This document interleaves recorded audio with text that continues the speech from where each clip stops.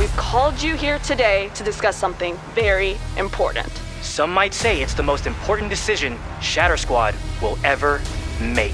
Shatter Squad needs a pet. What?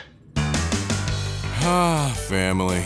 Can't live with them, and you can't live without them. Hey, FaZe! FaZe! What's up? Ugh.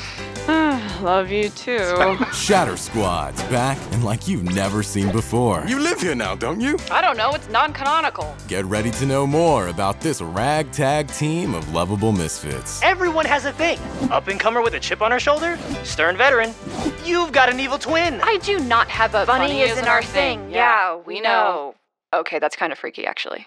In these fast and fun spin off ah. shorts, you're not just getting a slice of life, you're getting the whole pie. I don't think I've actually seen any of your faces in weeks. I've only been out of this armor to shower. Why? These bad boys are self cleaning. No, no, Raymond, they're not. Hang out with us on Wednesdays, this fall on Rooster Teeth. The door's always open. We're more than just family, we're